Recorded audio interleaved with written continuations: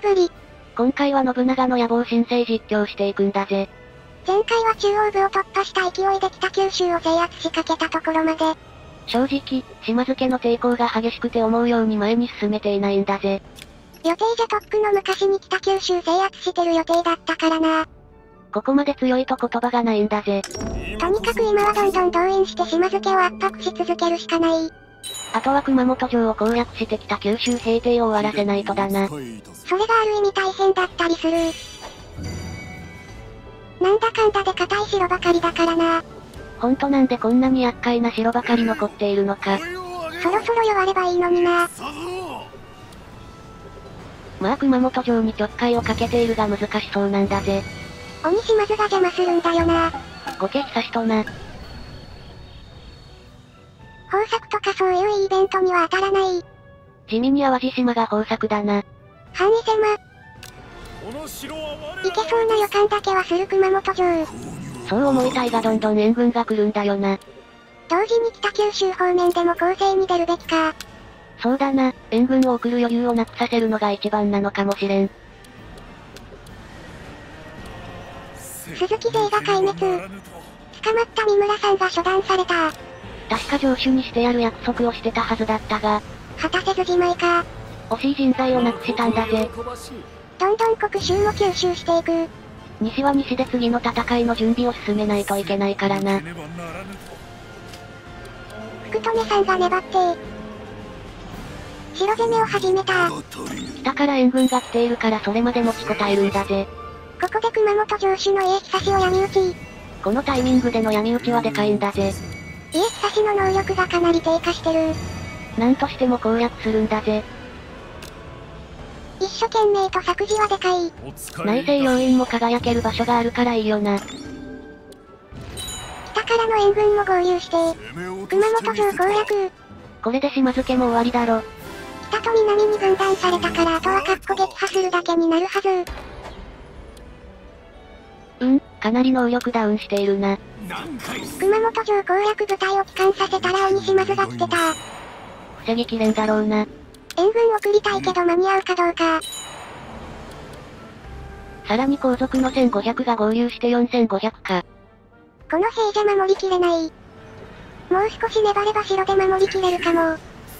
残り1500、守りきれるだろ。どこかで2万規模と戦ってる。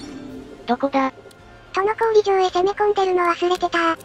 少し引いて体勢を立て直すか。無駄に消耗されたらこの後に戦いに支障が出るしな。あと少しで援軍が到着するけど。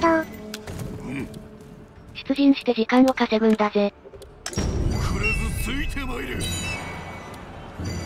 ダメだ一日足りない。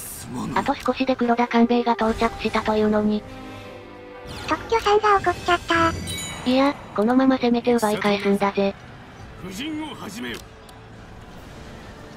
なんとかなりそう。というか、殿氷城攻めは大丈夫か？むしろ、今里城攻めが失敗してる。そっちか。なんでかわけがわからないくらい動員しているな。どこにそんな余力があるというのだ。ここでなんとか熊本城の再奪取に成功。ほんと粘りがちなんだぜ。泥臭い戦をする時期は過ぎてるはずなのに。島津家相手だと厳しくなるんだぜ。当然熊本城主には、特許さんを再任するんだぜ。長宗我部家のために働けよ。準備を万端整えよいろいろあったけど熊本城は安全になった模様。安心して殿氷城を攻められるんだぜ。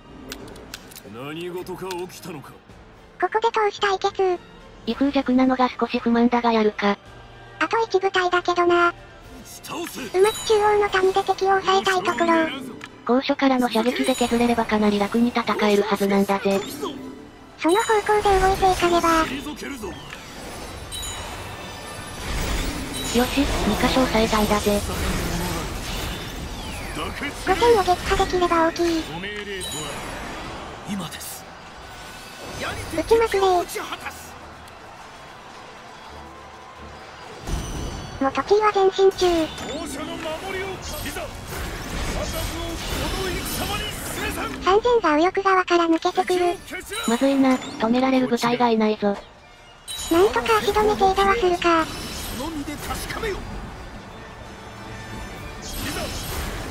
義久との直接対決か。格の違いを見せてやれよし、手が空いたな。気にせずの木口突撃。あ、うん、まあそれでもいいが。サムタ勢を撃破。これで戦況はこちら有利に傾いたな。あとはの木口破壊するかされるかの戦い。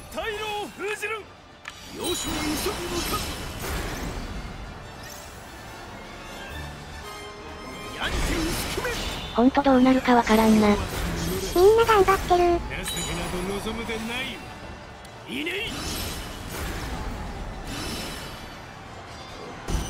ここで義久勢が撤退。ということは、元チーガの木口破壊して。優勢勝利。投手対決は元地下に軍配が上がったようだな。島津家で怖いのは義弘と家久だけだな。奴らなど我らの敵ではないわ圧勝。高台からの射撃は気持ちがいいんだぜ。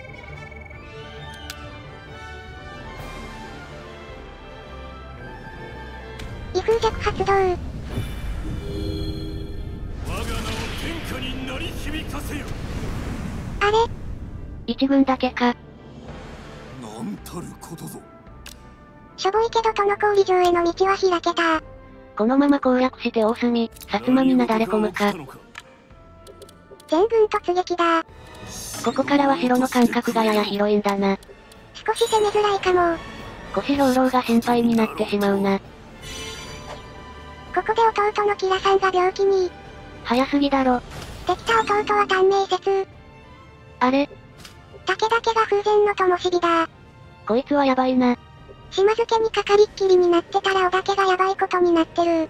早いところ片付けて織田家を攻めないと手がつけられなくなるかもなんだぜ。と言ってもそんな早くにどうにかなるわけもない。北条家と伊達家が頑張ってくれることに期待だな。上祖壁家としてはできるだけ早く島津家を屈服させることが最優先だな。そうなるな。だけど、今里城攻めはかなり手間取ってる。こんなところで苦戦するとは想定外なんだぜ。